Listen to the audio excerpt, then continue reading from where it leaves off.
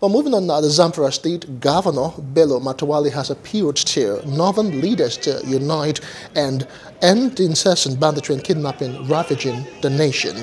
Matawalle made the call in a presentation titled Fight Against Banditry in Northwest Nigeria, Challenges and Solutions at the annual lecture by Arewa Media Writers Association in Kaduna State.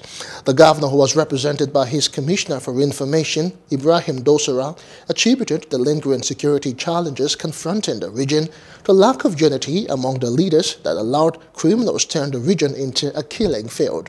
He noted that banditry ravaging the northwestern state, if not urgently tackled would consume the entire northern region and the country at large.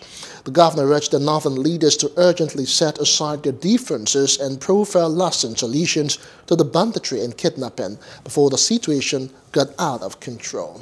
Hello, hope you enjoyed the news. Please do subscribe to our YouTube channel and don't forget to hit the notification button so you get notified about fresh news updates.